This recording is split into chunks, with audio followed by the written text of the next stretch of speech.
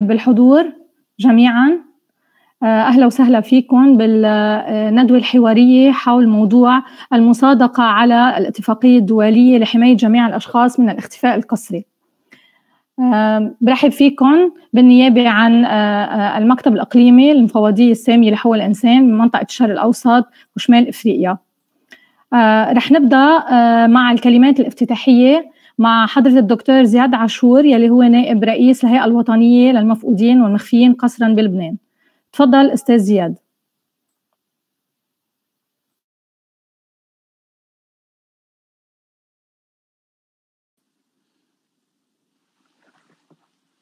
مرحبا يعطيكم العافية. بداية Hello.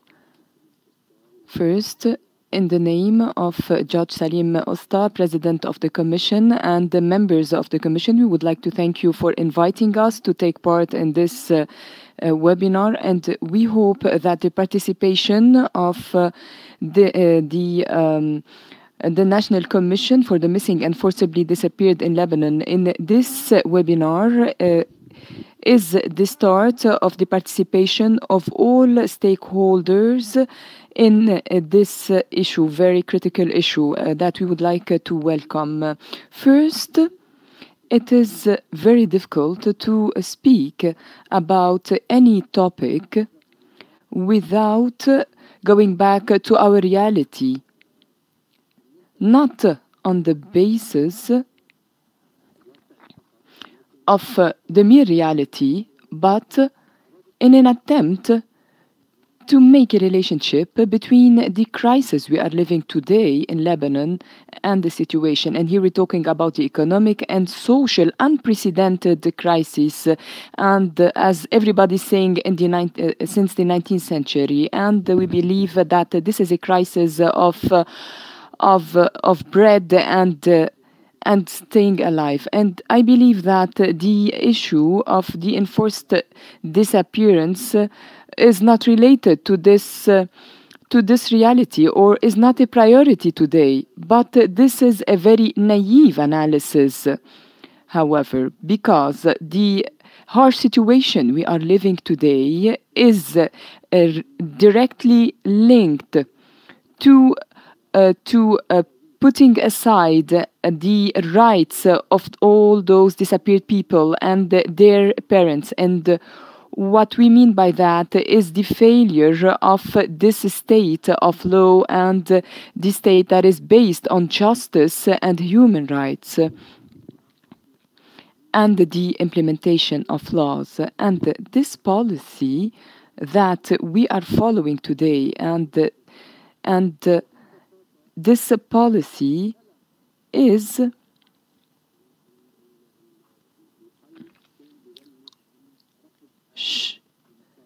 and the solution should be to stop accepting the situation and to start tackling the rights of those disappeared uh, people the right to know the uh, the circumstances of the fate of the disappeared is a natural is a natural right for the parents of those disappeared and does not accept any exemption and nobody has the right whether the authority or the government to have uh, to behave in this way.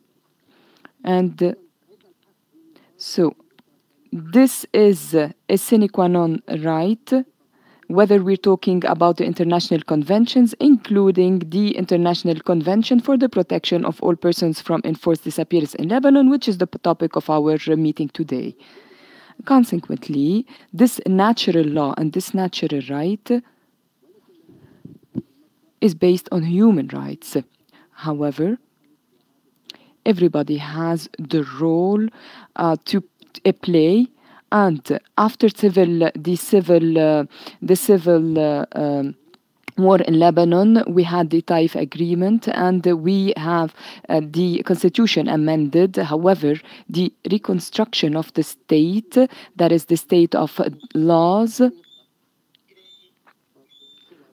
we can't, we can't. Mr. Michel Moussa, please turn off your mic. um, Mr. Michel Musa. Dr. Michel.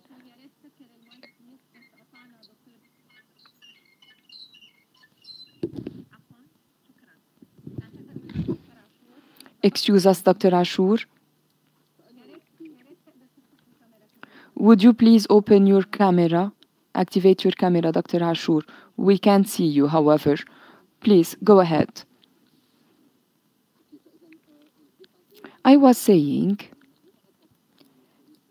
in uh, this critical period of Lebanon's history, the state of law was put aside and the principles of law were uh, were put aside. And we went against nature and the result was the authority and this uh, the government that we have today and uh, that is the cause of all our ailments and suffering. And uh, because of all what we've been through and all these circumstances i believe that uh, we uh, we are here today. So um, after civil after the civil war, uh, nothing was done to uh, to cater for the rights of uh, the disappeared and especially the right to know the fate of the disappeared persons. we are very far away from the state of law and the state of uh, rights, and that is based on the institutions and above all the free uh, the free judiciary. And today, as we can see, all these rights have been forgotten. What is I'm trying to say is that the uh, uh, the issue of the disappeared is critical and vital in the uh, in the reconstruction and regaining the rights. It is a priority in reconstruction, the state of uh, law and the state of rights, and we should not um, uh, we should not forget these rights because this is uh, this is a main component of uh, the of reconstruction of reconstructing the state of law and if we want to uh, reconstruct and rebuild the second Repu republic, we need to tackle the issue of the disappeared persons. On another hand, the struggle continued despite all uh, obstacles and we, we should really salute the struggle of uh, the parents of the disappeared persons and clearly those persons are following the issue this issue and they are trying to put things in place. They are trying to put on the right track the relationship between the citizens and the government and by that the article um, the law 218 um, paved the way for the creation of the committee for the, the National Commission for the Missing and Forcibly Disappeared in Lebanon. We hope that our work um, is fruitful and we hope also to uh, to that the Lebanese government ratifies the International Convention for the Protection of All Persons for enforced that, is complementary with the Article 105 and the priorities of the National Com Commission. And we would like to affirm as well that the priority of the Commission is also uh, to is complementary with the convention. However, Article 105 uh, does not replace the mechanisms and the uh, committees emerging from the convention and we hope that we tackle this issue as well because unfortunately the authority in Lebanon knows very well how to use uh, these and how to circumvent the issue and use these approaches whereby they say that we have a national commission and consequently there is no need to ratify the international convention for the protection of all persons from enforced disappearance. And this is also goes in line with the issue of uh, combating uh, violence and combating uh, uh com combating uh, torture and uh, especially in the report of uh, that were submitted to, to, the international commissions of human laws. And uh, and they used also the same pretext that we have a commission against torture and there's no need to ratify the international convention against torture. That is why the national commission does not replace this convention because they are both complementary however different. And ratifying international convention whether in uh, those related to human rights is the clear way and the straight way in order to to to be on the right path to towards uh, human rights uh, protection especially when it comes to the convention on the protection of all persons from enforced disappearance. And we would like to reiterate the importance of uh, in of ratifying this international convention so that it becomes complementary with the mandate of the Commission and with Article 105 over 2018.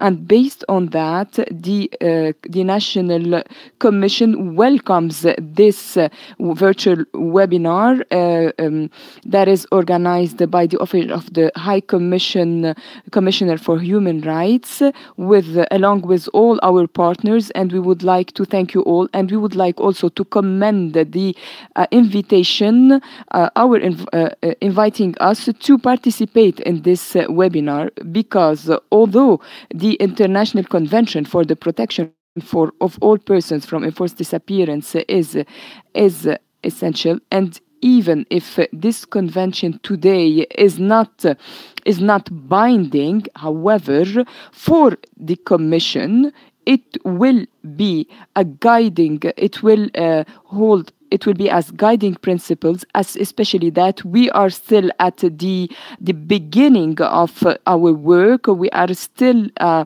we are still having our uh, our found uh, we are still drafting our foundation and especially that all principles of this uh, commission be in line with international standards and that is why and even if this convention is not a binding convention it is it will guide us in our work and it will guide us in the implementation of the uh, the articles and the laws in that are applied in Lebanon. We hope that discuss, discussing this uh, convention would be objective and transparent, especially in view of the uh, the um, the approach of the authority in Lebanon. In addition, and in this opportunity, in this event, we consider that there is space for discussing the um, the establishment of this commission and to reiterate that the National Commission for the Missing and Forcibly Disappeared in Lebanon has a has a strong grounds despite all the difficulties that it is facing, especially in light of not uh, uh, having not adopting uh, or a budget for this commission and all delays in appointing the members, the independent, the four independent members of this commission knowing that the, uh, the chairman or the president of this commission informed the concerned parties and communicated with the Ministry of Justice. And uh, recently, the Minister of Justice was informed about the importance of appointing the members, and he promised us that this will be done soon. Finally, I would like to reiterate my thank to all stakeholders supporting our work. And I would also like to convey my thanks, the thanks of uh, and the gratitude of the President, Salim Osta, and all members of the uh, committee of the Commission, and their gratitude to, to this uh, webinar. And we wish you a fruitful and success to this to this webinar. And thank you once again for inviting us. Thank you once again, Dr. Ziad, for all this information. Now I would like to welcome uh, the um, His Excellency Deputy Michel Moussa, the Chairman of the Human Rights Committee of the Lebanese Parliament. The floor is yours. Please uh, activate your mic.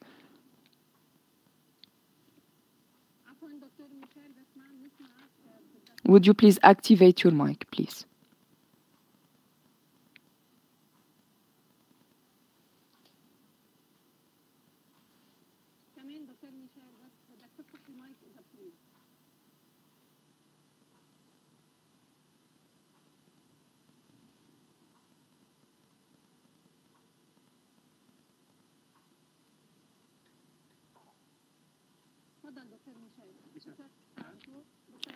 Can you hear me now? Dr. Ashur, would you please turn off your mic? Can you hear me now? Yes, please. Go ahead. We can hear you. Yes, clearly. Yes, we can see you and hear you. Hello. Apologies for this technical glitch. Mm, ladies and gentlemen, before uh, before starting or tackling our uh, main topic today, allow me first to thank uh, the Office of High Commissioner for the Human Rights for giving me the opportunity as uh, the chairman of the Human Rights Committee of the Lebanese Parliament to participate in this webinar and for insisting on my participation. And thank you for the office for supporting all issues related to human rights in Lebanon. As it is well known, the civil war in Lebanon 1975-1990 led to catastrophic results at the human and economic levels, where it left around 41,000 people missing or uh, who were killed, and more than 14. 144,000 people, uh, persons killed. Ladies and gentlemen, tackling the past and facing this past is vital, a vital sector, and it is our duty in order to provide a safe and, and sustainable future for future generations. Consequently, and given our uh, responsibility, the responsibility we assume, I would like to assure you our full support in this issue and following up all its details at the legislative level in the parliamentary committees historically the um, the work and the struggle of the parents of those uh, disappeared and their patience and their natural clinging to this cause resulted in the um, the uh, promulgation of law 105 that were issued in 2018 and the creation of the national commission in 2020 and from this platform and forum we would like to ask everybody not to lose hope and despite that, Lebanon eh, has been suffering from several crises the uh, um, the human rights remain a priority that can be uh, forgotten. The promulgation of law is the ratification and is the assurance of the uh, authorities to reveal the truth and consecration of this cause. And along that, there are also the duties and obligations to follow up on this important cause. Lebanon has ratified the Convention of the Protection of persons from enforced disappearance in 2007. Still, it's it still hasn't ratified it, and by signing it, this proves that it is it holds responsible. It is responsible to uh, to. Um, to find the truth. And as a chairman of the Human Rights Committee, I would like to reiterate our um, our uh, uh, our reassurance that all international conventions for human rights have been the way uh, to um, to reveal the truth. And you all know that the obstacles in Lebanon are mainly political, uh, political uh, conflicts and religious conflicts. however, we should not surrender because together we can we can uh, uh reach our objectives at the level of uh, human rights and protecting and achieving human rights. As to the ratification of international convention, I believe that this is a political issue and uh, it has been a political issue especially when it comes and there are uh, several draft laws that, that have been submitted uh, by the cabinet to the parliament. However, these have not been uh, ratified yet. However, it is not the issue is not related only to this convention because there are other causes and other conventions, and among these, the convention related to the rights of this disabled in Lebanon, and this is a permanent cause that is being submitted to the uh, to the government, uh, from the Lebanese government to the Syrian government, and it is still it is still stuck. However, we will continue our fight, and we hope that with new, this new cabinet, and as you may all know that in Lebanon we have had these voids and the difficulty in formation of the um, the successive cabinets. We hope that with this new government we will be able to come out to a solution in order to be able to ratify the International Convention for the Protection uh, of All Persons. Ladies and gentlemen, the um, uh, the, um, the justice is vital to know the fate of those uh, the fate of the disappeared persons. The the ratification of and the implementation of the International Convention for the Protection of All Persons from Enforced Disappearance is vital to um, to combat impunity for the uh, crimes uh, of enforced disappearances and to uh, to reveal the truth about the circumstances and the fate of the disappeared person and also uh, the rights of victims and justice to justice and reparation. Because because until today uh, before before the application of this convention, there were no uh, no uh, um, no binding uh, uh, conventions. That is why we reassure our the importance of ratifying this convention. Ladies and gentlemen, the right to uh, to dignity and and the right to to non, not being a victim to torture and the right to a just a trial as long as as well as other rights uh, are uh, the main main rights in building democracy. And based on that I would like to reiterate and affirm that we are seeking to promote uh, human rights and the principle and basic rights effectively and and to implement all declarations and covenants related to human rights and I would like to affirm again our engagement to follow up this cause uh, with you and uh, with all concerned authorities, especially uh, given the the critical the critical aspect of the enforced disappearance issue. Thank you, Dr. Musa, for all these important information. I would like to give the floor now to Ms. Ruwaida Al-Haj, the regional representative of the Office of the High Commissioner for the Human Rights in the Middle East region and North Africa. Thank you, Ms. Lean, and thank you, ladies and gentlemen, Mr. the Minister, and the um, زيد عاشور الهيئة الوطنية للمفقودين وأعضاء الهيئة Uh, Your Excellency, Mr. Michel Musa, Mr. Ziad Ashur, uh, uh, Mrs. Dagher, and Mrs. Ayman, Mr. Ayman Dah Ahmed.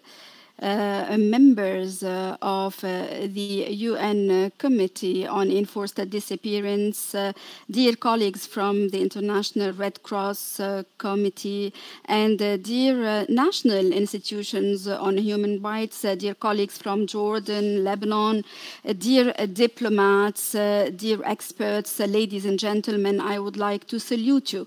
And I would like to salute the families of the forcibly disappeared persons. You know, the regional office of the OHCHR uh, will be having a very brief presentations because I want to give the floor to the members of uh, the commission and I would like to give the floor also to the representatives of the Ministry of Justice. I want uh, this discussion to be very fruitful. So we are deploying efforts in the field of enforced disappearance in coordination with our General Secretariat and the specialized institutions of uh, the United Nations, including the agencies present in Lebanon, in cooperation, of course, with the civil society, the Lebanese authorities, and universities in Lebanon, without uh, forgetting the families of victims. And we have organized uh, many sessions uh, and uh, workshops, especially with Lebanese universities,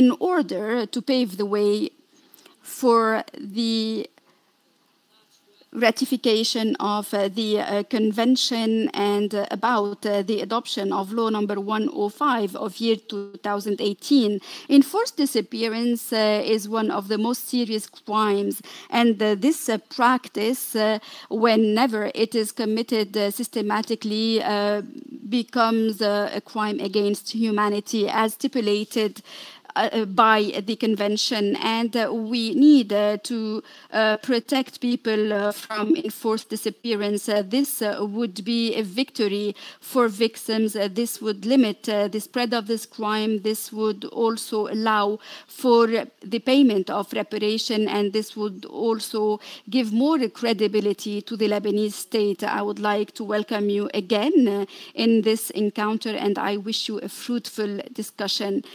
I give you the floor, Mrs. Lenaid. Uh, thank you, uh, Mrs. Ruwaida. I would like to thank you for your clarifications. Uh, I would like uh, to show you a very short video that was prepared by the regional office of the Office of the High Commissioner of Human Rights. this is a video about a call for the ratification of the International Convention for the Protection of All Persons Against Enforced Disappearance.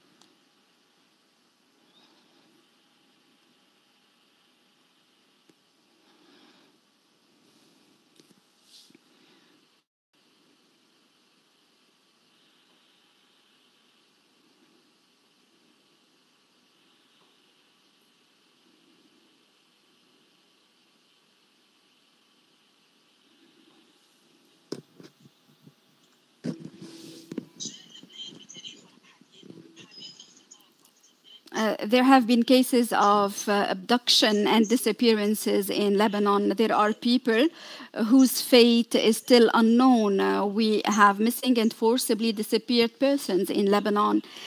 Enforced disappearance is a serious violation of human rights. It's a crime and an offense according to the Human Rights International Law. Many uh, conventions uh, have been signed uh, by Lebanon. However, Lebanon uh, did not ratify the International Convention for the Protection of All Persons Against Enforced Disappearance. The parliament adopted law number 105 in 2018 for the creation of a national commission for the missing and forcibly disappeared in Lebanon in order uh, to uh, inquire about the fate of those people. And the law number 105 uh, gave uh, the uh, members of the community the right to know about the fate of the missing people. There will be no reconciliation unless justice is administered. And we need to enforce Law 105 and support the work of the National Commission, ratify the International Convention on Enforced Disappearance.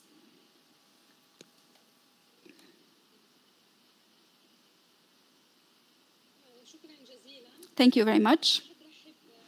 I would like uh, to welcome uh, Mrs. Carmen Rosa uh, Villa. She is uh, the chair of the United Nations Committee on Enforced Disappearances. Uh, Mrs. Carmen Rosa Villa will talk about the importance of this uh, convention for all countries of the world, and she will talk about the mechanisms and importance of joining this international instrument. Mrs. Carmen, you have the floor. Good morning, everybody. I'm in the South America in Lima, Peru.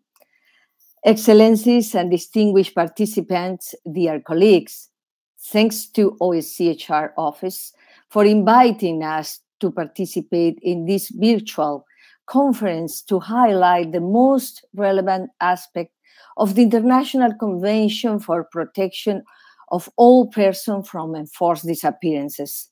Together with my colleague Milica Kolakovic and Juan Pablo Alban, member of the board of the Committee on Enforced Disappearances, I'm pleased to participate in this conference. Enforced disappearances are not only a problem of the past. Regrettably, today they continue to be a practice that practically covers the entire universal geographic and all social and political segments. Hundreds of thousands of people have disappeared and continue to disappear, and in some contexts, it is increasing, such as during the migration, human trafficking, and the pandemic of COVID 19. In this context, women and children are in a situation of vulnerability and, in many cases, also become victims of enforced disappearances, sexual violence, and other type of violence. Why is so important to ratify the convention? The Convention for the Protection of All Persons from Enforced Disappearances is the first universally binding human rights instrument on enforced disappearances, filing a legal gap in international human rights law that hindered the effective protection of all persons from this crime.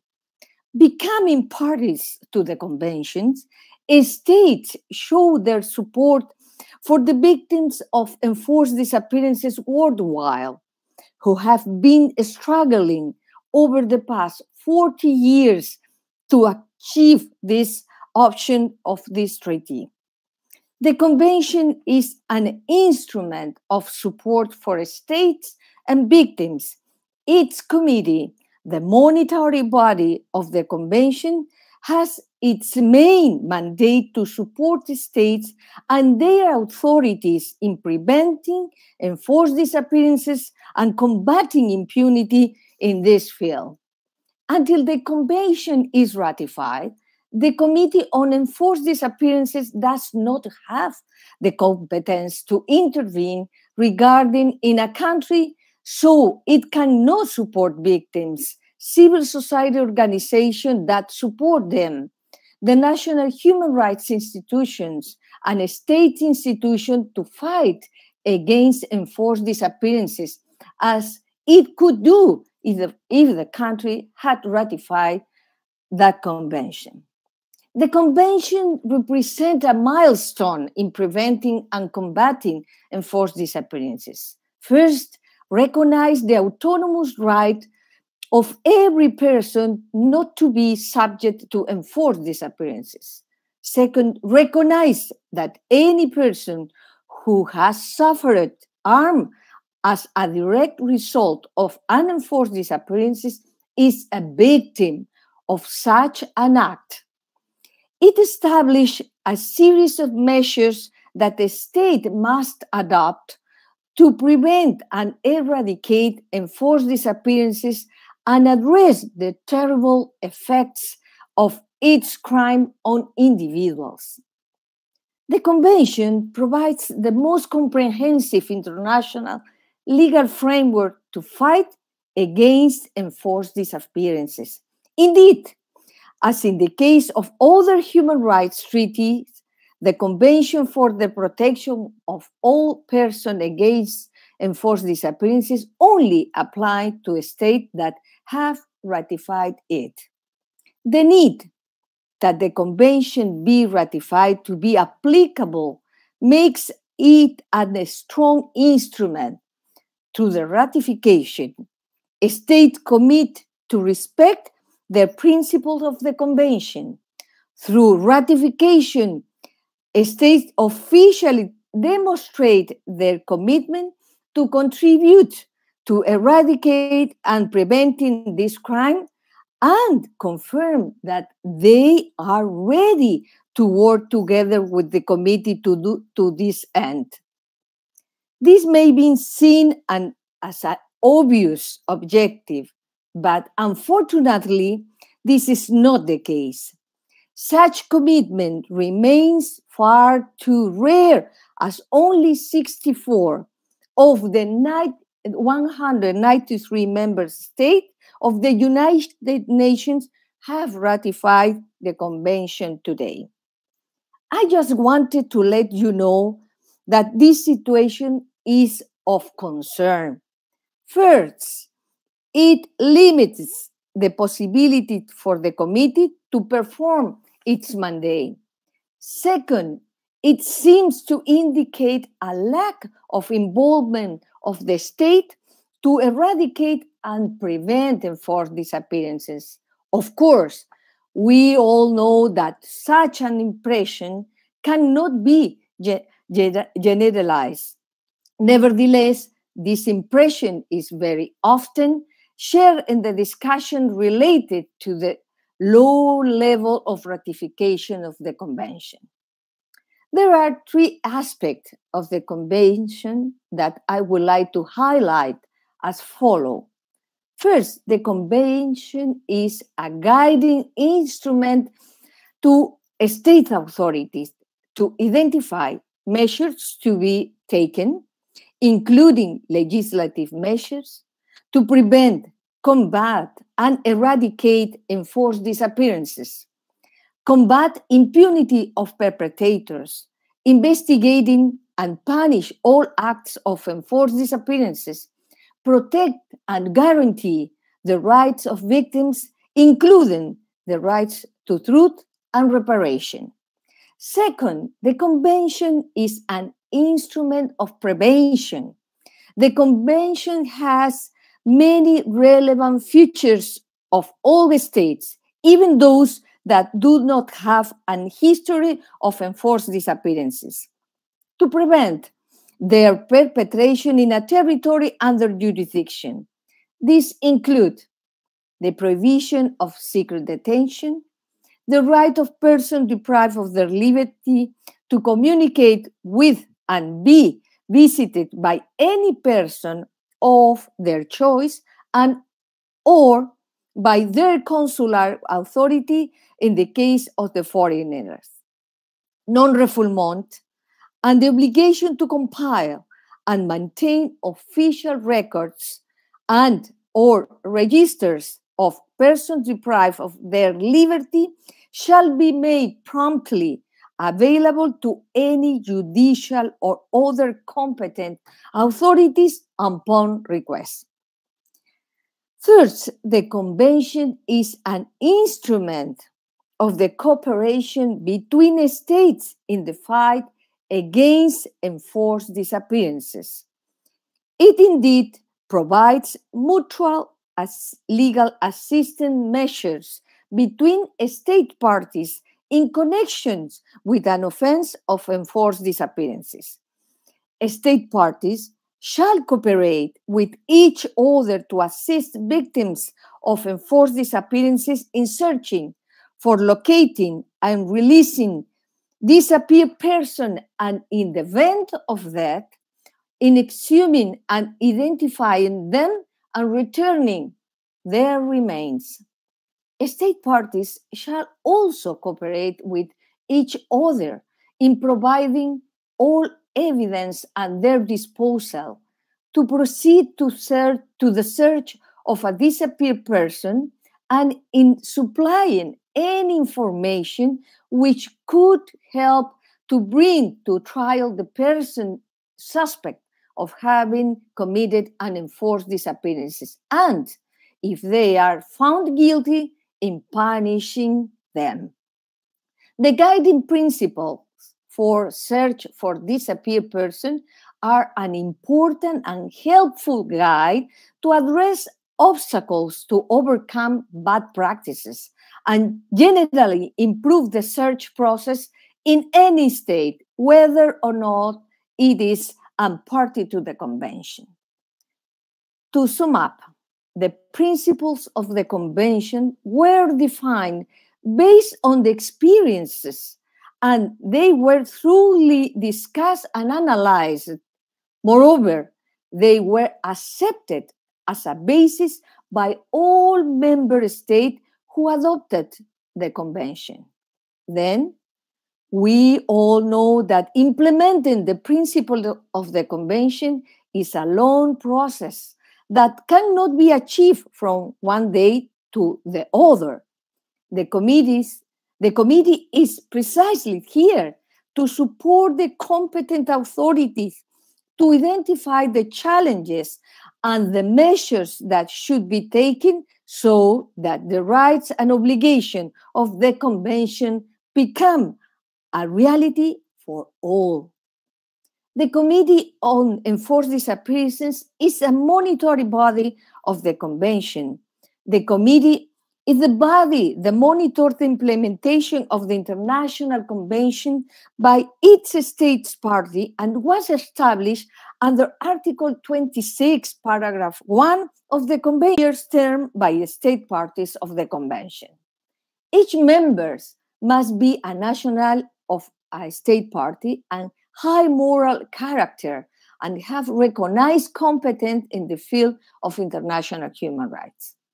By offering our expertise, its expertise on crimes of enforced disappearances, the member of the committee have as their main mandate to support states and their authorities in putting an end to this means of terror and combating impunity in this field.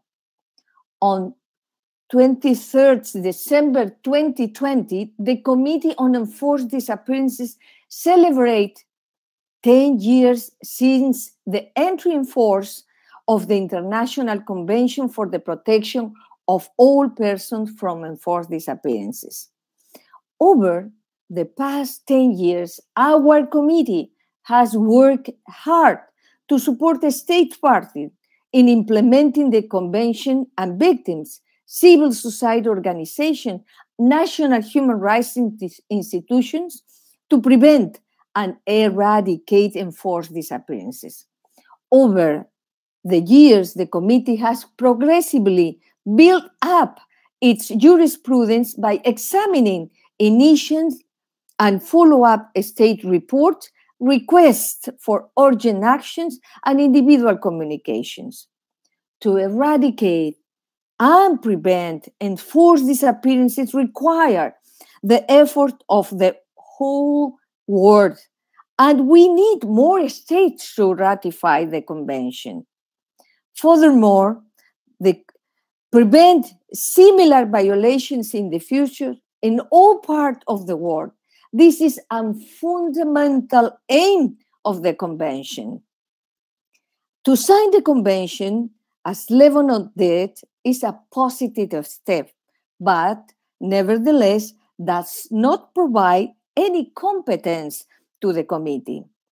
In that connection, I would like to remind you that in the context of the UPR, Lebanon has received various recommendations inviting the state to ratify. And Lebanon has accepted these recommendations. The committee offers its full support to the states to attend to any questions in that regard. Moreover, we hope that the instrument of ratification can soon be deposited before the Secretary General of the United Nations. Thank you very much for your kind attention for this session. Please do not hesitate to get in touch with us. Thank you. Uh, many thanks, uh, Ms. Carmen, for uh, this valuable intervention. So I would like now to welcome Mr. Juan Pablo Albán. Uh, he is a member of the Commission on Enforced Disappearance. Um, the floor is yours, Mr. Juan. Thank you very much. Good morning for us. Um, uh, good afternoon for you. Uh, it's an honor to address you, Your Excellencies, dear colleagues, to briefly explain the methods of work that the committee employs in order to fulfill its mandate. As Carmen Rosa, our chair, had already explained, um, the committee is comprised of 10 experts uh, that basically have the duty to uh, accompany the states in fulfilling the obligations contained in the convention. To do so, the committee addresses both general situations and specific cases. The mandate of uh, the committee uh, comprises the examination of reports submitted by the states parties and the measures taken to give effect to the, to the obligations under the convention. This according to Article 29 of the convention, and I will explain further how we uh, examine the reports later on. But first, I will explain all the measures that we can take. Secondly, uh, we can send urgent action uh, requests to the state in order to um, adopt, for the state to adopt measures, including interim measures, to locate and protect a disappeared person. Um, this according to Article 30 of the International Convention. We can also receive and consider communications from individuals claiming to be victims of a violation of a given right contained in the convention by a state party. This according to Article 31 of the convention. We can receive and consider communications in which a state party to the convention claims that another state party to the convention is not fulfilling its obligations under uh, the treaty. This on, according to Article 32 of, of the convention. We can undertake visits to any state party after consultation with the state concerned. And during the visit and before the visit, we can receive information indicating that the state uh, could be violating uh, several provisions of the convention. This under Article 33. Actually, we are preparing the first visit of the committee um, during these first 10 years of activities of the committee. The committee had not carried out visits under Article 33. However, uh, after a uh, lengthy negotiation, finally the Mexican government has uh, accepted the visit of the committee, and we will carry out a visit from November 15 to November 27, which will be the first um, carried out by the committee. And finally, we can submit to the attention of the Secretary General of the United Nations well founded indications that enforced disappearance is being practiced as a widespread or systematic crime in the territory under the, jurisdiction of a given state party. This under Article 34 of uh, the Convention. I would like now to explain a bit further how we deal with general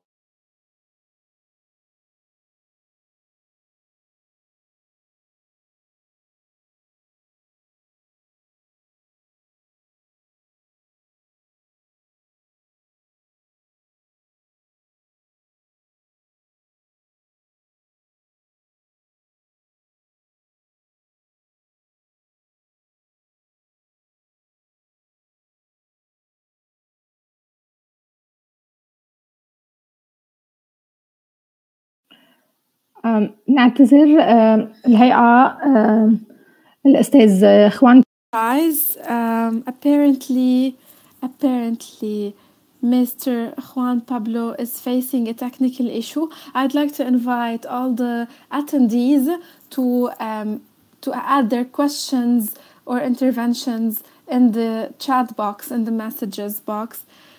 Please feel free to add there your suggestions, your questions to the experts who are with us today.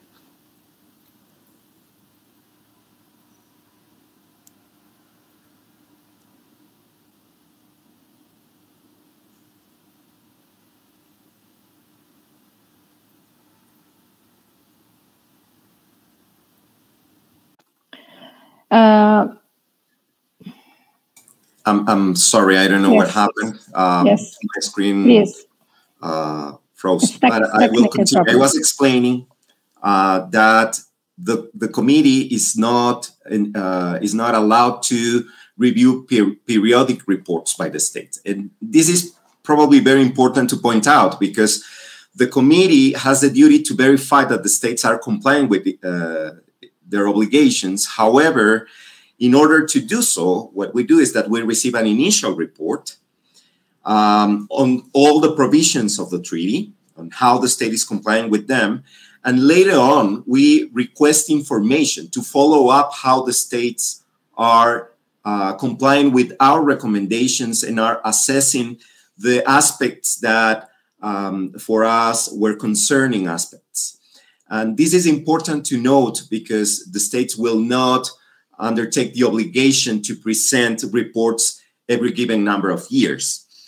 Um, the follow up to the concluding observations that we issue after the, uh, the, the initial report have to do with particular particular areas of concern for us. And um, what we expect is, is, that the state will submit information on what additional measures it had it has decided to adopt in order to comply with those particular recommendations, usually three recommendations. Later on, uh, according to the provisions of the convention, the, the committee can request additional information on uh, past issues and also on new uh, problematic areas that we discovered through the information provided in general by uh, civil society organizations. So it is important to note that we don't have periodic reports and it is the only uh, treaty body monitoring the implementation of a given uh, treaty of the UN that does not um, receive periodic reports. Um, I would also like to uh, present some additional information on, on the visits. When the, the committee receives information on grave violations to the convention, it will contact the state in order to ask the state to authorize a visit by the, by the committee. Of course, due to the nature of our activities, we will not impose the visit, the visit on the state, but the state will have to agree to the visit. Uh, these visits enable the committee to have a more direct contact with the reality in the country and to obtain more elements to provide useful assistance to the state on how to implement the convention and how to comply with the recommendations issued by the um, committee during the uh, examination of, of the state reports. And the, the visits are not um, conceived as a mechanism to put pressure on the state, but rather as a cooperation mechanism uh, to um, to have a better dialogue in order to fulfill the obligations under the convention.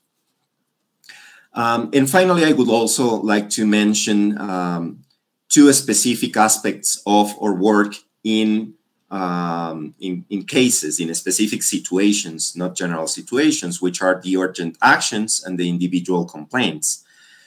An urgent action, as I explained before, is a request submitted by the committee to the state in order to search, locate, and protect a disappeared person and to investigate the disappearance. These under Article 30 of the Convention. This request uh, could be submitted after a petition is presented to the committee by the relatives of the disappeared person or their legal representatives, um, or any other person that has a legitimate interest in the um, whereabouts of the disappeared person. Um, of course, it is expected that first the interested party will present the uh, request to search, locate, and protect the person directly to the government. But if it is not possible, or if uh, it has been presented but the government has not reacted to that petition, then um, they can come to us and request an urgent action. I wanted to, uh, to address the question of individual complaints. As I mentioned under Article 31 of the Convention, any individual claiming to be the victim of a violation of a right protected by the Convention can submit a complaint, what is, is called uh, by other committees a communication. Uh, so the individual communication or complaint procedure only applies to those state parties that have made a specific declaration accepting the competence of the committee to examine individual complaints under, under Article 31. And this declaration can be made, and we hope that Lebanon will make it when the state becomes a party to the International Convention or any time afterwards. Um, the individual complaint is sort of a last resort once the victims have exhausted all domestic remedies in order to protect their rights under the convention. And the decision that we issue under uh, this particular procedure is a quasi, quasi-judicial decision that has a binding effect on the state. Um, and we will recommend the specific reparations that should be provided to the victim in the particular case, uh, depending on the rights that have been violated. Finally, I would uh, briefly like to also refer to something that Carmen Rosa in her presentation already mentioned, which are the guiding principles for the search of the disappeared. And this, this is a very useful instrument. I think for the National Commission in Lebanon, this would be very useful to adopt a national policy on, um, on the search of, of the disappeared modeled on these uh, guiding principles. The guiding principles were, were adopted in April 2019 and they seek to consolidate good practices in searching effectively for disappeared persons. And uh, they have been developed on the basis of the accumulated um, experience of the committee in their uh, in the first years of, of work of the committee, and particularly on the accumu accumulated experience under Articles 29 and, and 30, meaning uh, examination of reports and urgent actions.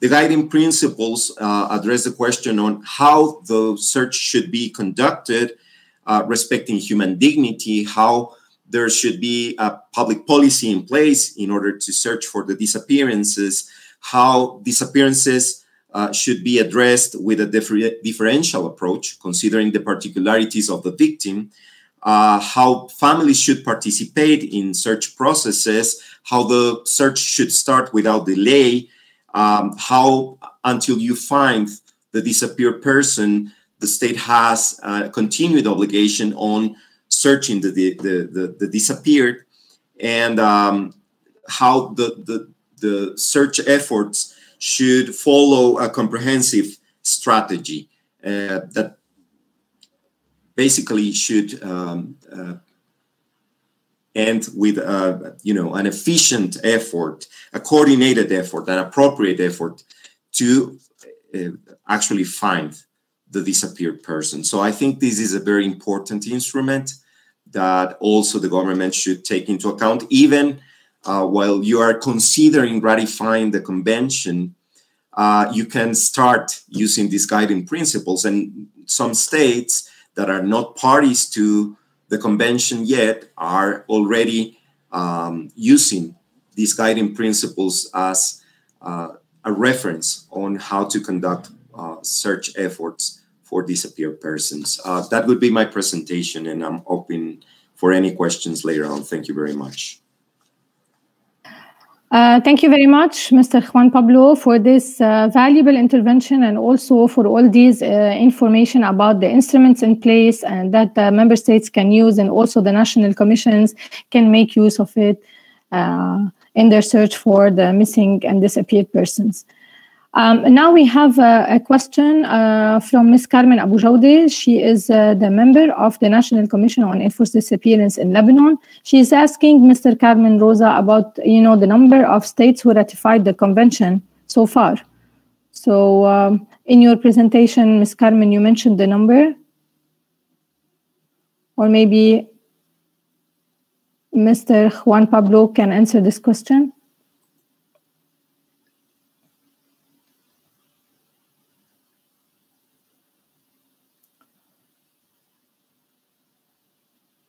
Yes, I mentioned in that. Uh, yes, right now, um, as of 64 today, 64 states ratified have the ratified the, the convention. Sorry, Carmen Rosa, go on. No, don't, don't worry. 64 states ratified the convention, and we try to have more and more states to ratify. The signatures that we have is 47 states signed the, the convention, but they didn't already ratify the convention. That's why uh, Argentina and France have a big campaign in order to uh, uh, call all states to ratify the convention. U- universality is very important, and that's why this event is very useful. Oh, not only for you, but only for all members of the, the world that could ratify the convention. This is important because the, the, convention gives you an authority and victims uh, really, really good instrument to fight against impunity and, of course, to eradicate the enforced disappearances. Thank you very much, Mr. Uh, Carmen Rosa. Uh, we have another question from Mr. Saadeddin Shatila to MP Michel Moussa. Uh, says Michel, عم بيسألك الأستاذ سعد الدين عن موضوع مجموعة الأمم المتحدة مجموعة Dean, Mr. Satuddin is asking uh, uh, you uh, on the working group of the committee that asked for a visit to Lebanon in 2015, but Lebanon has not agreed on that visit to date. So we we are asking whether you have any follow up or updates on this uh, request to visit Lebanon, to visit the committee, or uh, on uh, any other updates related to the special rapporteur. Um, related to the um, depend the independence of lawyers and judges and their visits. Mr. Michel is muted.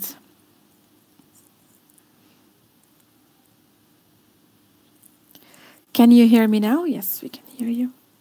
I do not have any information on this uh, issue, but uh, all I know is that all the UN agencies are taking uh, appointments uh, with us and they are actually visiting us and uh, coming over to Lebanon. But I can follow up on this.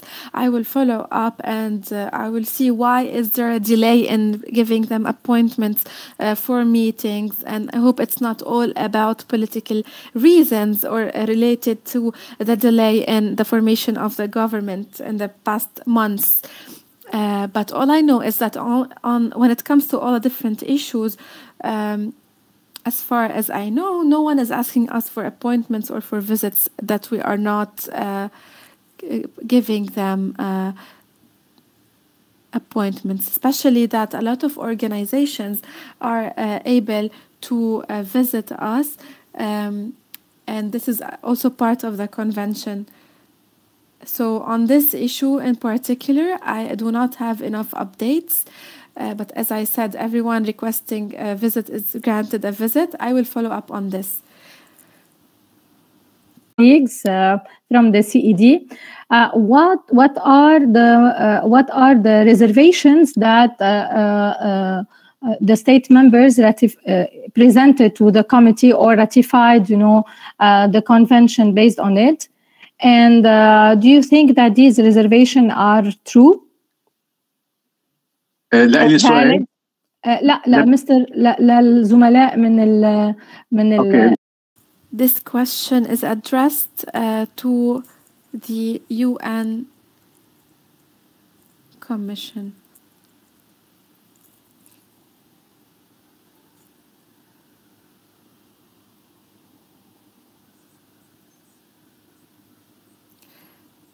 However, we have to bear in mind that this is a human rights treaty. This means that the core provisions of the treaty, of course, cannot be subject to reservations. Um, some states have issued reservations. In practice, they have not curtailed the possibility of the committee to supervise the implementation of obligations under Article um, under Article 29, receiving peri periodic reports, and um, uh, in general, there are no reservations that could um, actually block the committee's possibility to request urgent actions, for instance. What has happened, uh, indeed, is that many have not decided to authorize expressly the committee by um, recognizing its competence to receive individual complaints. But I, I would insist it, it, has to be taken into account that this is a human rights treaty and that core provisions of the treaty cannot be uh, subject to reservations because otherwise the effet utile of the treaty uh, could, not be complied with, right? So um, we hope that when once Lebanon ratifies the convention, it will do so without any sort of reservations. Uh, thank you very much, Mr. Juan. Uh, we have another question, please, from uh, Mr. El Haj Ahmed. Um, Mr. El Haj Ahmed is saying that don't you think that, I mean, not acknowledging the mandate of the committee in receiving and following up on individual complaint according to Article 31 of the convention um, is not really appropriate? Mr. Juan or Ms. Carmen? Well, as I as I explained before, the committee has uh, different tools. So even if the state decides not to recognize the competence of the committee to receive individual complaints, the committee will still have the possibility to address specific cases through its urgent actions uh, mechanism. And furthermore, um, also if there is a pattern, if there is a, the, this systematic or generalized practice of enforced disappearances, the committee also has other mechanisms to address the situation, like um, requesting the state to authorize a visit or like submitting the matter to the attention of the Secretary General, which in turn will submit the matter to the attention of the General Assembly. So uh, I think the versatility of the committee is based mostly on the different mechanisms that we can uh, use in order to address situations. But of course, the ideal uh, scenario is that the state will accept the competence of the committee to receive individual complaints. Uh, Thank you. I would like to add something very important. Through the urgent actions, the committee requests to a state party to provide investigation of any action taken to search for the disappeared person and investigate the alleged disappears uh, some evidence patterns and the importance of a strategic or, or the investigation the plan that we need to prepare by the state in many cases, for example, family members uh, have not been informed of any measures taken by the authority in charge of search investigation. That is very important, is in relation with the urgent actions. Uh, it's important that the state authority that uh, they need to, to, to take all measures, for example, to, to coordinate between different institutions and um, they are responsible for searching for missing persons and investigating their enforced disappearances to issue regular uh, and transparent report on the progress made during this kind of urgent action. This is a part of the, the requesting that we usually have during the uh, urgent action process. Thank you very much, uh, Ms. Carmen. Uh, for your answer. And we have another question, please, from Ms. Carmen Abu Jawde. Also, she is uh, the member of the National Commission on Enforced Disappearance in Lebanon. She is asking you and Mr. Juan Pablo um, how the committee can help the National Commission despite the fact that, that Lebanon did not ratify yet the, the convention.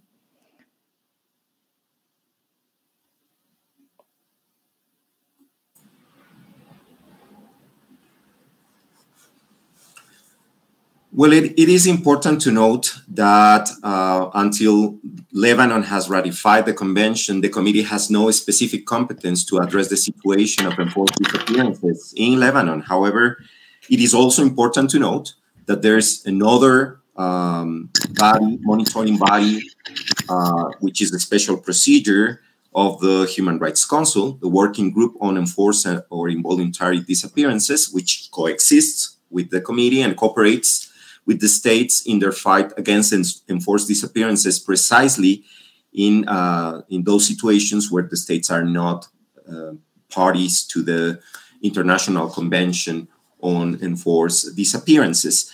So I would say that um, while, as I mentioned before, Lebanon could uh, use as, as, as a basic reference on the national policy to address the situation of the disappeared, the guiding principles issued by the by the committee, and of course the committee is open to have conversations like this uh, with, with states.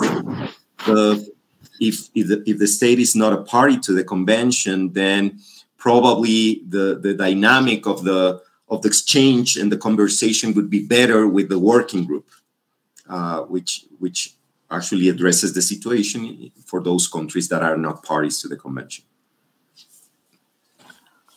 Thank you very much, Mr. Juan Pablo. Ms. Uh, Carmen, do you have anything to add? No, thank you very much for inviting us. This is very important conference, virtual conference, and we have we are an, in, in your disposition to to help you and to give you some other information. And I think this is a really good opportunity to call, to recall uh, to Lebanon to ratify the convention. And in, in, in the in the way that they did it when they approved or they accepted the recommendation made by the UPR during the uh, the third the second and the third session. And thank you very much for this opportunity. And again i give you my all uh, support to do it to, to do this thank you thank you very much ms carmen uh, uh, i have also another question from ms carmen abu jawdi as well uh, th this question is addressed to uh, Mr. Michel Moussa.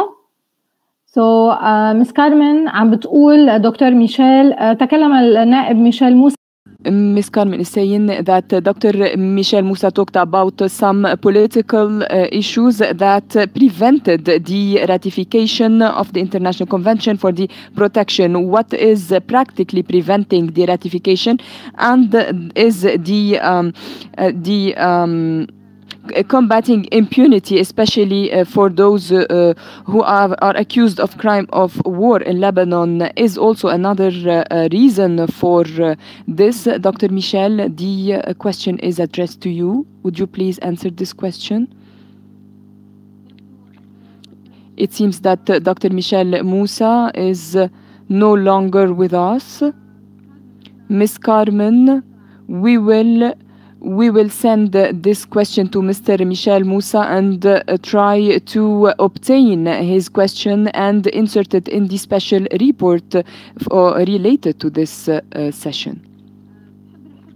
Now, I would like to uh, welcome Mr. Bassam Al Antar, and uh, Bassam Al Antar is the uh, person in charge of the international relations in the uh, Commission for the Missing and Forcibly Disappearance. He will give us some uh, ideas about the challenges and obstacles faced by the uh, by the National Commission for the Missing and Forcibly Disappeared in Lebanon, and he will share his his ideas in, or- in order to highlight the um, the importance of activating the work of the National Committee in Lebanon. The floor is yours, uh, Mr. Bassam. Good evening, and.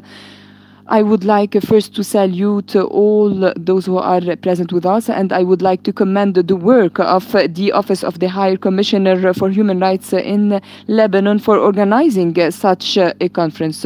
First, I would like to highlight and briefly three main issues, given the lack of time, and also I believe that um, going into details requires a more um, a more uh, uh, in-depth uh, in-depth session with the people concerned. As to the ratification of this convention, I believe that the uh, the issue uh, is first related to um, this uh, non-clarity of the situation in Lebanon. The government of, Lebanon has declared in its last revision of the convention that the previous uh, government and even the previous and previous cabinets, and especially the uh, uh, the government of 2019 or late 2018 has succeeded in and uh, ratif- or of having a decree on uh, ratifying this convention. And this decree uh, and thank god we were able to have this decree to ratify this convention. However the question is why why so the, uh, th- there was uh, there was a decree on the ratification of the convention on the disabled. However the question here is related to why we didn't have a uh, another decree related to the ratification of the uh, the convention on the enforced disappearance. That is why the ratification of uh, the uh, the international convention for the protection of all persons from enforced disappearance and the problem resides in the the the lack of clarity to the uh, party concerned in taking the first step towards the ratification. And if there is no uh, we don't have a scenario that is uh, having the the cabinet ratify the um, the convention again.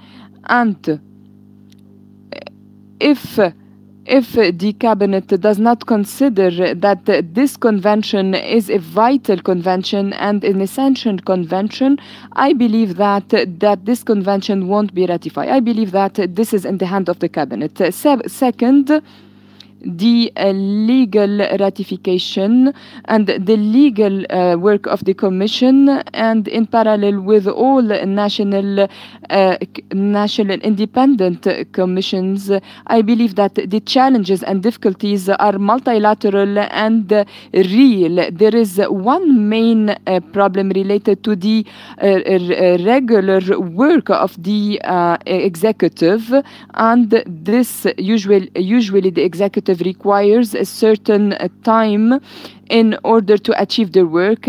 For example, we have had three consecutive ministers of justice that were not able to uh, to implement their work, and the scenario uh, uh, took place again, and it will take place again in uh, in relation to the ratification of the international convention, especially that the late ministers did not really have the political will to ratify this convention and this is related and this commission, commission for the missing and forcibly disappeared that is under the Ministry of Justice should have the mandate in order to face all uh, challenges and obstacles. And these obstacles are mainly related to the non uh, comprehension. And here I am very aware of uh, uh, using this term is that the authorities, the administ administrative authorities, do not really understand the concept of uh, the work of the independent commission,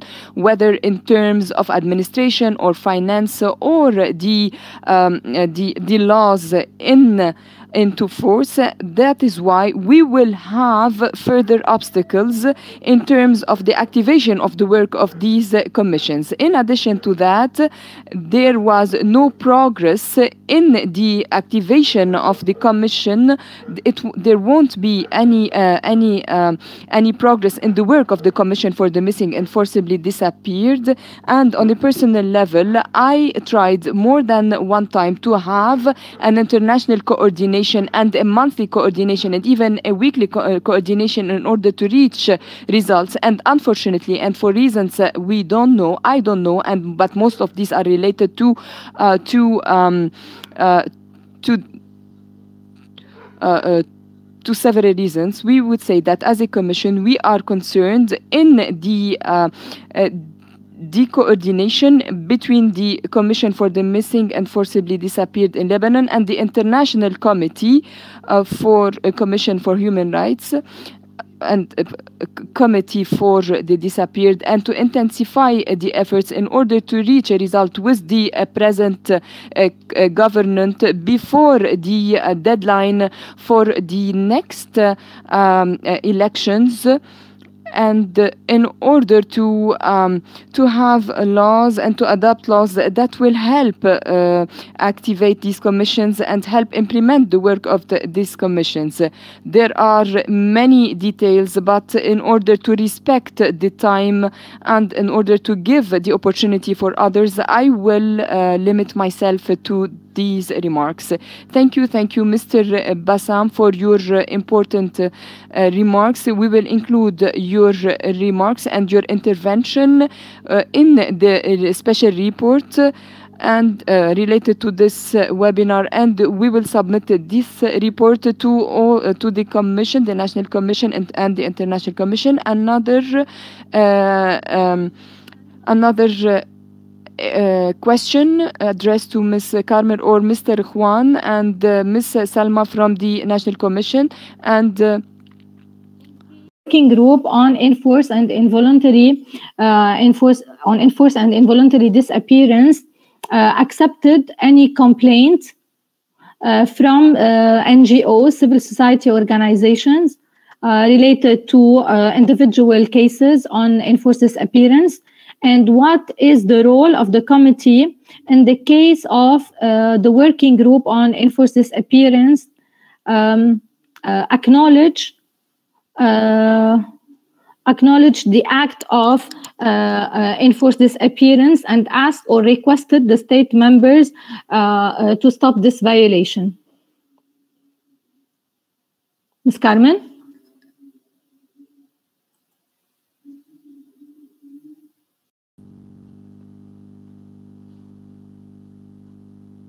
Ms. Carmen?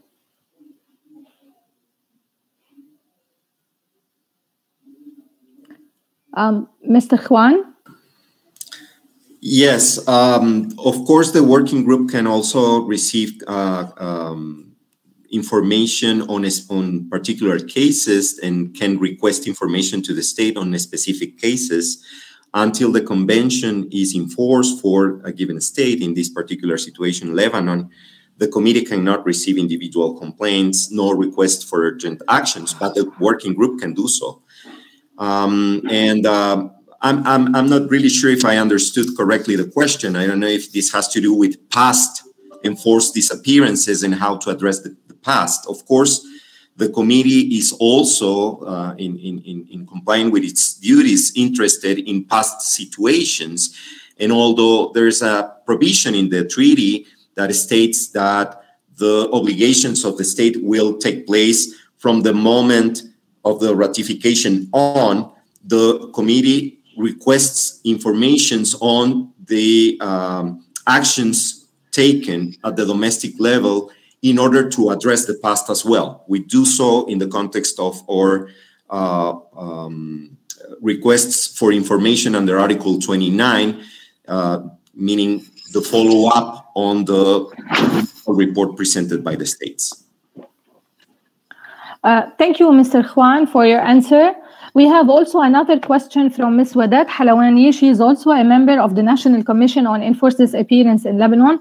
She is asking about the impact of ratifying the convention on the cases of enforced disappearance. So basically, she is asking, does does the ratification process uh, impact, you know, the, the percentage of uh, uh, enforced disappearance in a country? Do you have any any information about this?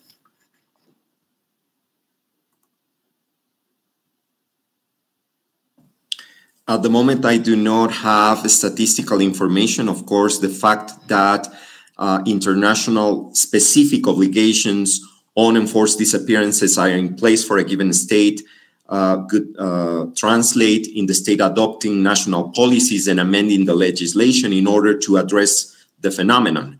Um, so, of course, the, the, the numbers will go down by the mere fact that the state will start complying with the obligations under the convention, but I do not have statistical information.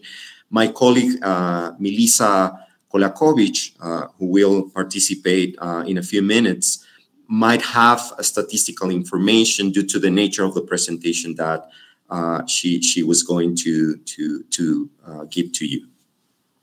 Uh, thank you very much Mr. Juan Pablo uh, شكرا كمان للسادة والسيدات الحاضرين معنا على الأسئلة والتفاعل القيمين جدا Ladies and gentlemen, for your questions, now we will move to our second session of our uh, uh, session today on the effective and practical experiences in joining the International Convention for the Protection of All Persons from Enforced Disappearance. Now I will give the floor to Mr. Rida Abdelaziz. He is a regional expert in human rights and he's also uh, the uh, person in charge in the training on human rights in Egypt. Mr. Rida, the floor is yours. Please go ahead.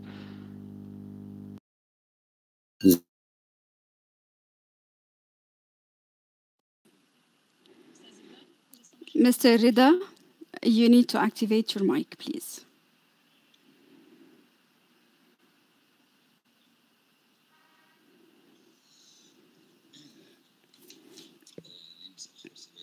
Good evening. Can you hear me?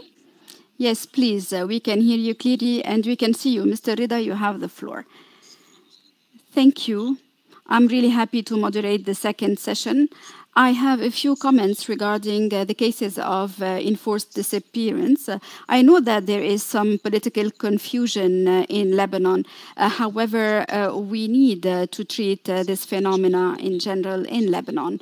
I know that you have institutional problems. I mean by that the institutions competent in terms of combating enforced disappearance, but we need to take proactive actions in order uh, to uh, serve the interest of the victims.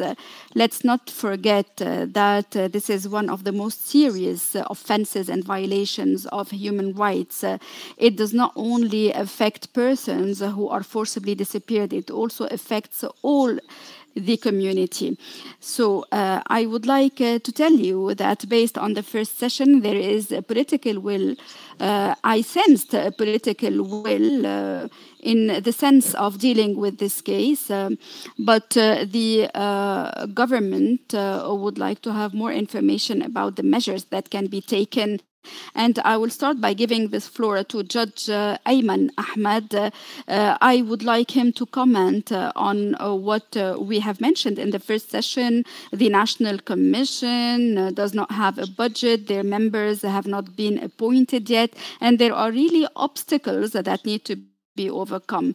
And uh, after that, I will be giving the floor to Judge Angela Dagher. Uh, uh, Your Honor, Judge Ayman Ahmed, uh, you have the floor. It's a common uh, uh, intervention? Yes, it's a joint presentation.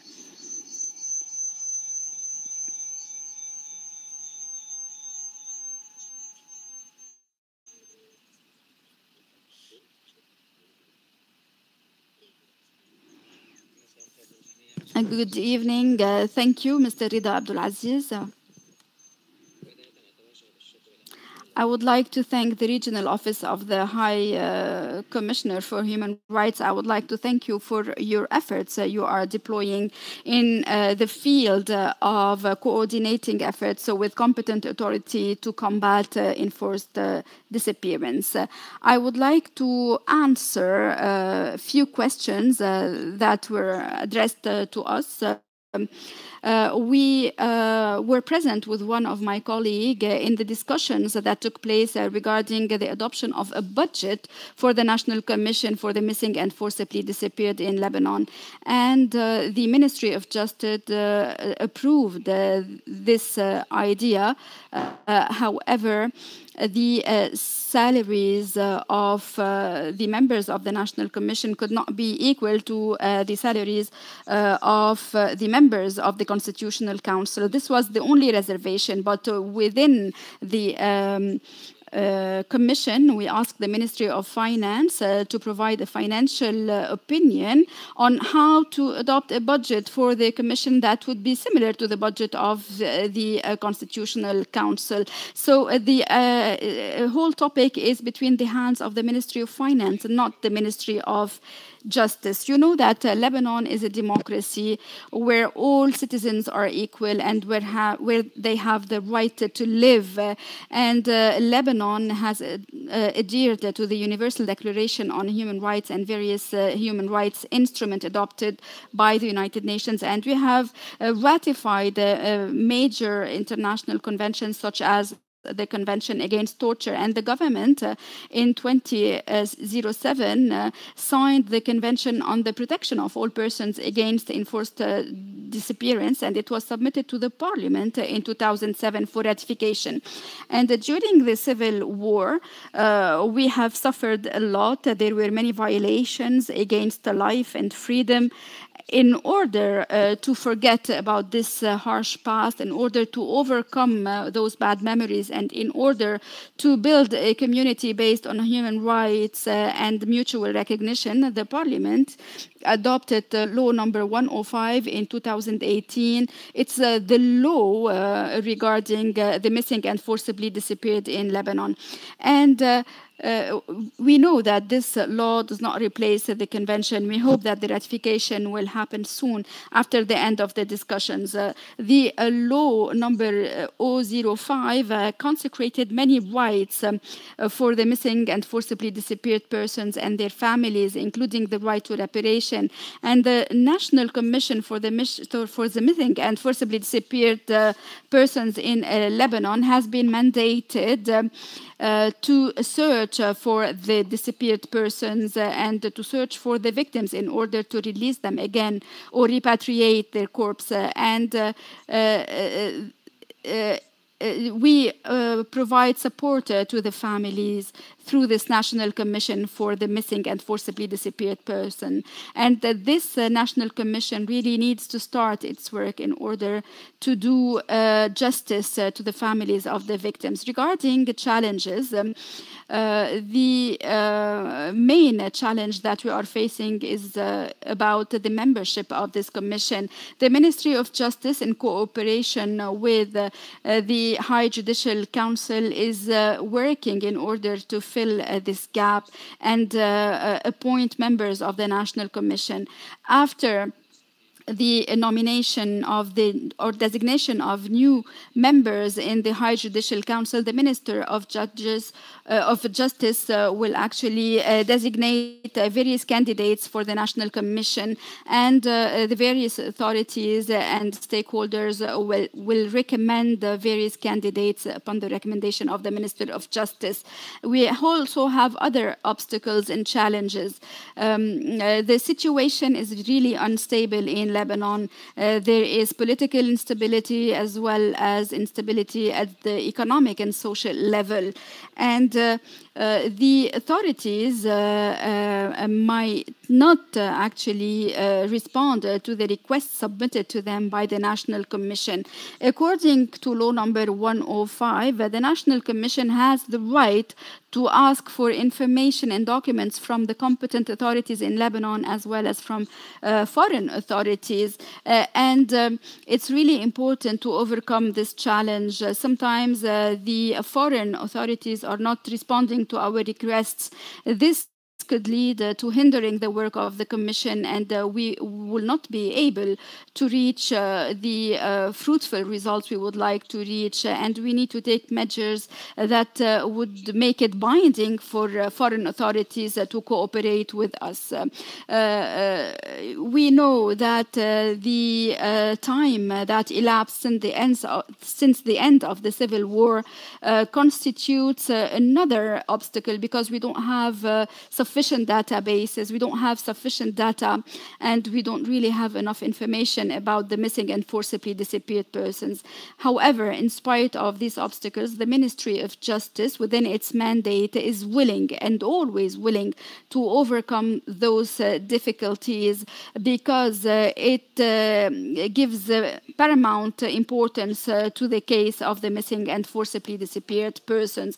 The Ministry of Justice uh, was represented uh, in all parliamentary commissions and they submitted their comments and they participated in many workshops and roundtables. They cooperate with various uh, public uh, authorities and uh, the organizations of the civil society in order to apply the law. Thank you.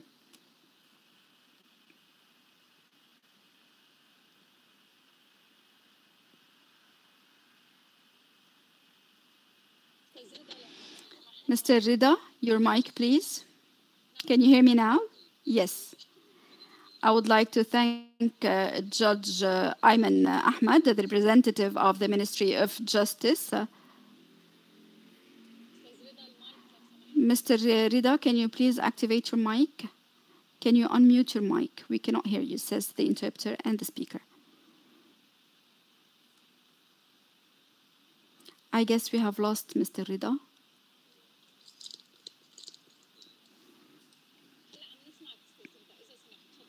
Rida, you have, Mr. Rida, you have the floor.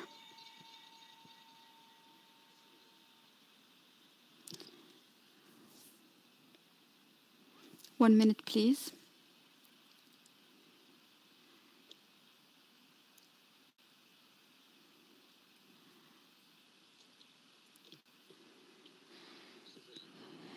Mrs. Lin, can you hear me now? Yes, Mr. Rida. Yes, I was saying uh, I would like uh, to thank Judge Angela Dahir and Judge Ayman Ahmed and uh, we have heard the statement of the Ministry of Justice. The Ministry of Justice um, uh, is trying to fill the gap uh, in terms of the membership of the National Commission. I believe that this is a good progress. Uh, I believe that the Commission uh, will be able uh, to reinitiate its work, especially when the budget will be completed and will be allocated to the Commission and when they will have offices to work from within. This is a really good step forward. now I would like like uh, to give the floor to Mrs. Milica Kolakovic, Vice President uh, of the United Nations Committee on Enforced Disappearances. Uh, I believe that she will be talking about successful experiences from the world and the region in ratifying the international convention and what are the best practices in cooperation with the relevant United Nations uh, Committee for Lebanon and for the whole Arab region. You have the floor, ma'am. Hear me? Yes, yes, please. Great. Great. Your Excellencies and dear colleagues, uh, of course, I'm grateful uh, for this opportunity to take part in this webinar. And let me briefly introduce myself. Uh, as you already heard, my name is Milica Kolakovic-Bojovic, and I'm member of the committee since 2017. And so, since 2019, I'm also the vice president of the committee. And yes, today I will try to um, raise several issues relevant for the positive experience of the committee. Uh, and since we are running out of time, I will try to speak briefly. The first of all, I would like to share with you my impression that when we are talking about ratification, somehow we are talk mostly about the processes and we are talk mostly about additional obligations to the state party, mostly related to legislative interventions and to additional workload related to reporting. But somehow, uh, I have impression that we are missing the key issue, the main message. And the key issue when it comes to ratification is to make an impact in reality. And we are talking when we are talking about the ratification of the International Convention for the Protection of All Persons uh, from Enforced Disappearances, uh, I believe that our main goal should be to make an impact on victims. Uh, so you already heard that committee has recently celebrated its 10th anniversary, and so far uh, our practice uh, has shown that the ratification of the convention and the consequent activities of the committee aimed at efficient implementation of the convention in a state party uh, can result actually in the significant and tangible impact on victims of enforced disappearances in that state party. Uh, as previous speakers, uh, mostly uh, Mr. Juan Pablo Albán, uh, explained, the main activities of the committee in terms of overseeing uh, of the implementation of the convention goes through the several parallel tracks, namely through the reviewing of the state parties' reports and follow-ups in order to define concluding observations and to provide clear recommendations uh, to the state parties on how to improve their legislation and their practices. In parallel, there is a urgent actions procedure.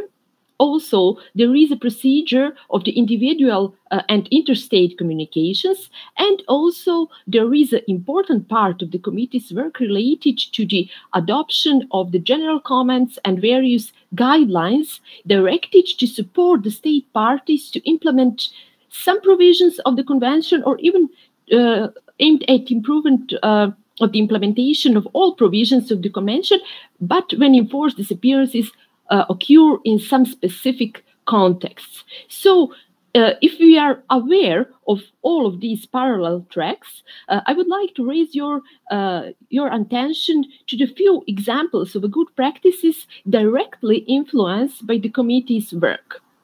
Uh, the first of all, in more than several state parties, comprehensive legislative changes have been made to follow committee's recommendations.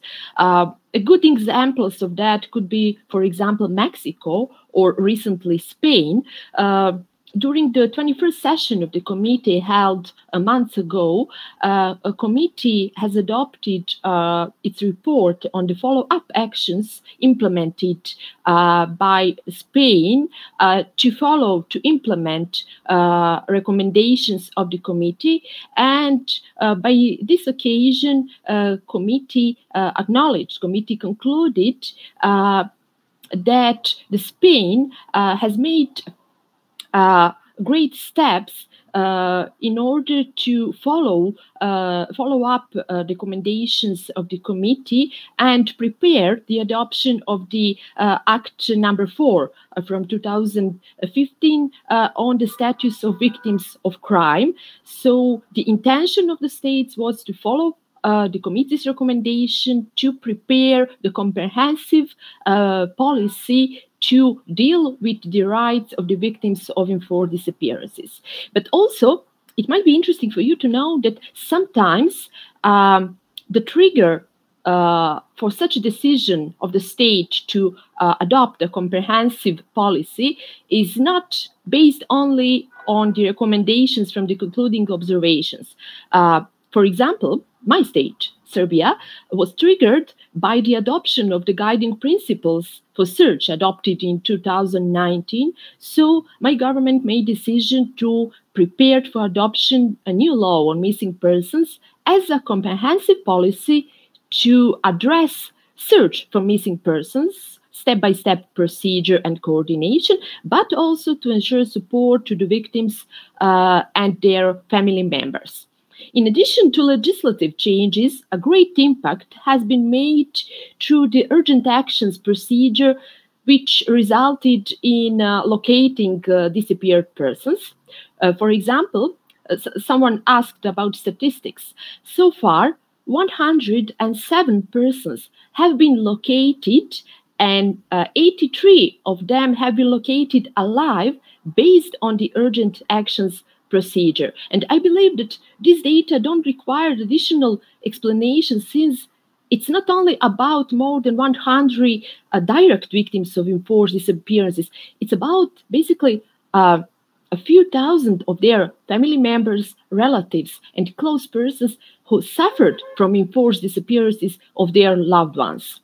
Uh, also, uh, now we are hoping uh, hoping to be able uh, soon to close uh, the urgent actions uh, concerning uh, recent uh, protests in Cuba and Colombia. And in that case, this number of uh, 107 is going to be uh, much bigger. When it comes to the urgent action procedure, I would like also to mention the recent decision of the Mexican Supreme Court to declare the binding character of urgent actions. namely, on June 16 this year, uh, the Supreme Court made a decision in which uh, it stated that uh, CD, urgent actions, have a binding character for all authorities of the state party. The case, this case was submitted by uh, an NGO, uh, IDHEAS, uh, that has presented uh, many urgent actions to the committee, and they did so on behalf of the disappeared persons and uh, disappeared person and his mother, uh, after state authorities told the mother that they did not have any obligations to take into account CED recommendations. So, if you consider the fact that in the moment of rendering that decision of the Supreme Court, there were more than uh, 450 cases of urgent actions of missing persons ordered to the Mexican state, it's clear that such a decision is going to have a significant impact on victims and their families in Mexico. Namely, uh, this decision is uh, an important step to uh, recognize uh, victims of uh, enforced disappearances and to recognize their right to be searched and to reiterate states' obligation to act with due diligence, carrying out all actions necessary for searching a missing person since the first moment uh, disappearance is reported. Uh, so, in this context, it might be interesting for you to know uh, about statistics from the region. Currently, uh, there are five urgent actions on Morocco. Uh, one referring to Oman and one referring to Tunisia. And also, it's important to mention that states states have responded to all of these requests. And uh, also, sometimes uh, urgent actions mechanisms uh, resulted in establishing international cooperation. For example, following a recommendation to the state party uh, in one case uh, of urgent actions related to Honduras, uh, international cooperation between Honduras and other state parties have been established in order to act upon requests of the committee. And finally, uh, there is also important mechanism of the committee to make a real impact. Uh, this is a procedure related to the protection of the NGO activists and the members of associations of family members of missing persons. سيادة الخبيرة بس يعني related أرجو to إنه يعني قدامنا أقل من يعني آه. يكفي نص دقيقة يعني لأنه السيدة رئيسة المجلس الوطني في المغرب Um, excuse us, but um, we're running out of time. We're sorry, but we're trying to be briefer. sentence to conclude. Yeah. Yes, conclude, please. Yeah, uh, I just want uh, to mention the uh, procedure of the committee to protect uh, NGO activists and the family members of the associations of the family members of missing persons from the reprisals or intimidations uh, after their decision to address the Committee on Enforced Disappearances. Thank you for your, for your attention.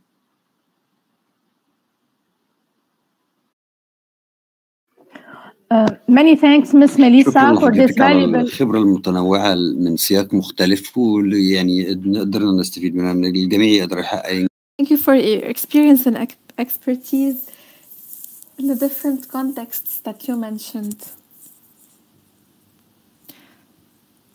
At this point, uh, we will be listening to the intervention of uh, Mrs. Amina Abu from Morocco. Um, Mrs. Amina Abu President of the National Council for Human Rights in the Kingdom of, of, of Morocco, which has a, a wide experience in dealing with human rights. And we uh, want to make sure that we listen to the different experiences to relate um, the context in which we can deal with uh, forced disappearances. Um, first of all, good evening, everyone. Ladies and gentlemen, first of all, we'd like to congratulate, um, would like to congratulate the head of the regional uh, bureau. Hello, Ruwaida, how are you? Uh, first of all, to to support uh, the the families of the disappeared and to the NGOs who work on this matter in order to reach a stage where the Convention on Disappeared People is ratified. So, first of all, I'm very happy and uh, I'm very happy as long as with my team from Rabat to be with you today. Um, uh, we were not able to follow from the beginning of the session, but um, actually my team was able to follow and they will be uh, following up as well uh, later on on the different problems and challenges and points that were tackled during this session. Um, no doubt that uh, the head of the committee has mentioned the importance of this uh, convention. This convention has has known a long history when it comes to uh, putting and ratifying and uh, all the all the stages that were related to this uh, convention. Uh, although we haven't really reached the half the number of the states that would ratify on this convention. Even last year, a lot of NGOs were speaking about this convention. When it comes to the experience of Morocco, I can say that when it comes to the experience of Morocco, we can actually uh, combine my experience as an activist in an, in an NGO and uh, what I know has been done to move on with the ratification of the convention, but also to move on uh, with the issues of um, forced disappearance in Morocco. As you all know, Morocco has been among the three countries that worked on raising and promoting this convention, and they still do. And Morocco, Argentina, and Morocco each year they uh, raise a decision for the UN Sec- uh, Secretary General and, and the General Assembly to uh, to actually promote this uh, convention. In Morocco, when it comes to forced disappearance, this issue has known different stages and steps and linkages uh, with political issues and um, political conditions and situations and uh, coups uh, and attempts of military coups in Morocco. The the council, the Human Rights Council in uh, Morocco, that is known uh, the National Council for Human Rights in Morocco, that was developed in the last uh, years, in 1991 has formed a specific committee to uh, work on different issues, especially on the violations uh, of human rights, uh, including the issue of forced disappearances and enforced disappearances. During the same uh, stage and at the same period, uh, we also launched a lot of NGOs and active people from different political parties on the national level, or journalists, or academics um, and university professors. We all uh, launched uh, together what could be called the national path um, to move forward into ratifying the convention on enforced disappearance. So all these groups worked closely and extensively together for years and years, and I still remember, and I'm uh, responsible in uh, the Moroccan um, Association for Human Rights that I was actually responsible for the first political file on enforced disappearances, and we actually submitted some of the names that we were able to reach.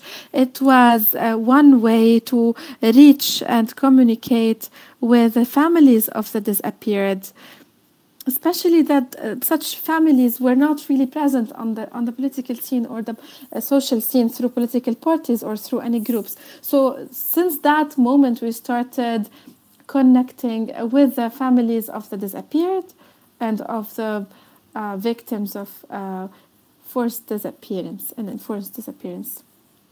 And we were very uh, active when it comes to dealing with political parties and, and on, on the media to move on with the ratification of the convention and to work more on making the issue of uh, enforced disappearance of high importance and to put it on the agendas of the policymakers and to the relevant people. And then we had uh, the, the committee that was formed, and we wanted to uh, to to actually uh, pay uh, for the families of the disappeared, whether they were killed or they stayed alive, and uh, regardless of the reason behind their disappearance, be it that they were disappeared because of the uh, state apparatus in Morocco or not. So uh, we wanted to provide them um, with redemption. And we linked this mission of working on uh, enforced disappearance and, and finding the truth and finding the reasons behind such disappearance. And to also know and discover the places where such place where such people were disappeared. So we worked on um, on the media on uh, promoting the testimonies of the people that were released after being disappeared and after being missing. in 1991. And such testimonies from, uh, from people who were exposed to forced disappearance helped uh, widely in having more people work on the issue, on such issues, or to work on, uh, in general, on uh, human rights violations issues. And this is the occasion that uh, allowed us at the time to to actually find more information on enforced disappearance and to refine our ways and tools and uh, symbols and uh, ways of dealing uh, with this issue to promote further studies on the issue of enforced disappearance. In 1991, there was a consensus, a political consensus, uh, and democratic consensus in, in Morocco. And uh, such a context allowed us to work more on the issue of uh, enforced disappearance and to know how to actually launch it, how to actually work on it during the democratic transition. And this was a very important uh, occasion for the participation and engagement of um, government officials in this issue. And this is something that um, the Moroccan Organization on Human Rights was very active on. They worked actively to put an end to human rights violations, and and their efforts actually led uh, to the birth of uh, the Council of uh, the um, Human Rights Council uh, in, in in Morocco and uh, we uh, chose the national organization at the time because we wanted to we really knew that if we want to find a committee if we want to uh, establish a committee to find the truth such a committee needs to be established by by uh, the acceptance of the Moroccan state. And this is when the national uh, organization used was the National Council for Human Rights in the Kingdom of Morocco that was coordinating uh, with other NGOs, and we were coordinating with its uh, members, with its president, and um, we're checking the recommendations that they uh, uh have raised to the General Assembly and to to the uh, King of Morocco. And based on that, in 2004, we had we had a committee established for reconciliation and for compensation of uh, uh, for compensation for the families of the missing and the disappeared.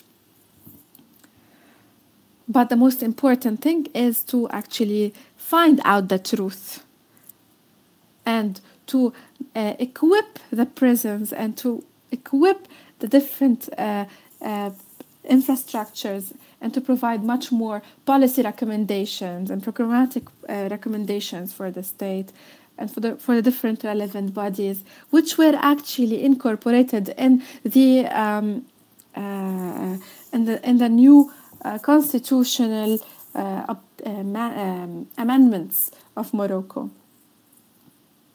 So we can see that the committees did actually abide by uh, the international standards for the protection of the enforceably disappeared persons. Though we, we saw that uh, the efforts really were reaching, uh, were reaching all the committees, especially the reconciliation committee. So the spirit of uh, cooperation was there between uh, the two uh, mechanisms that we were using especially the transitional justice.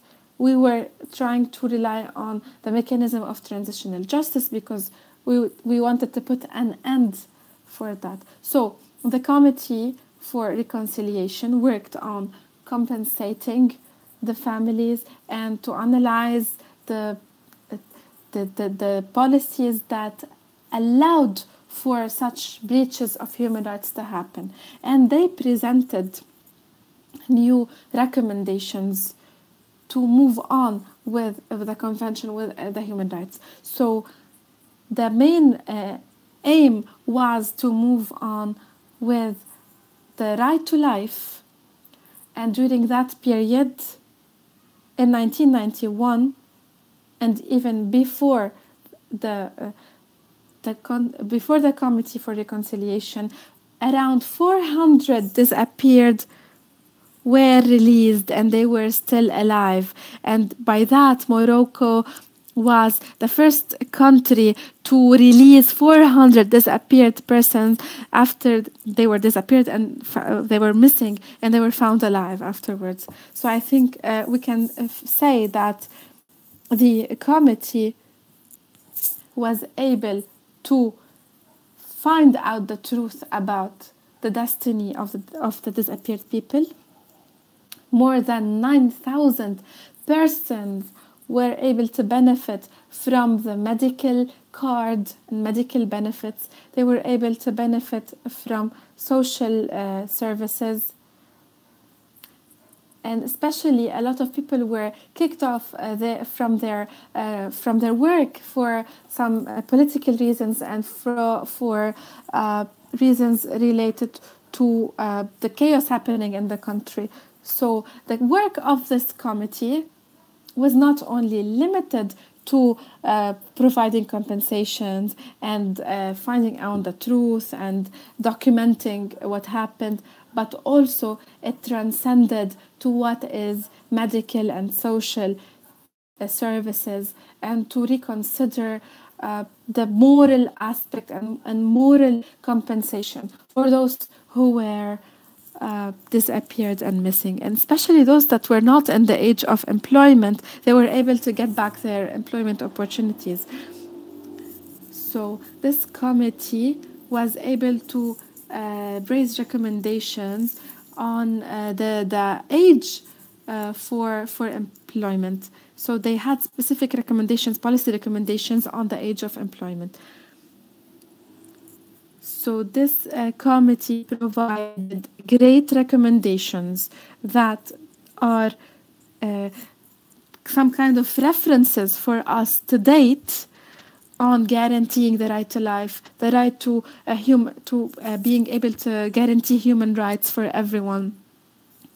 And most importantly, to criminalize first enforced disappearance, to criminalize torture, to criminalize anything that is against human rights, to criminalize the conditions that uh, lead to human rights violations, and to criminalize hate speech, discrimination, racism, which are all points that are enshrined in the constitution of the Kingdom of Morocco and that were adopted in uh, the criminal uh, uh, law of uh, the uh, Kingdom of Morocco and of the recommendations related to it. So there was a national strategy on impunity that was also set forth. Please allow me, Mrs. Uh, I am really interested in the experience of the Kingdom of Morocco and uh, we we we never get enough from listening to uh, to the experience of the Kingdom of Morocco. I really thank you a lot, and I'd like to. Uh, conclude what you just mentioned that there's a need to focus on partnering with different uh, bodies including the media to uh, pressure on uh, to pressure towards the ratification of the convention and to work more with the families of uh, the uh, victims of enforced disappearance. Looking at this transitionally transition phase in Morocco and looking into the issues of enforced disappearance, we can say that this is a really prompt experience. هناخد ثلاث أسئلة سريعا بحيث Since we run out of time, we will take only three questions. and once again, we will we reassure you that all discussions and questions and answers will be included in the report that will be sent to all participants. So uh, let's take the first question now. We have one, two, and three questions so far.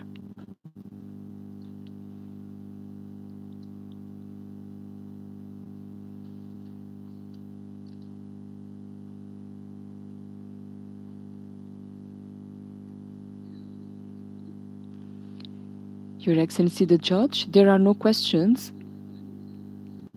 So if there are no more questions, we would like uh, to thank all participants. Thank you very much for those, for all participants and all speakers and all colleagues. We would like to salute our colleagues from Morocco and Egypt and all other countries. And I would like to thank all judges and Dr. Michel Moussa and all members of the uh, National Committee and International Commission. Thank you very much. And uh,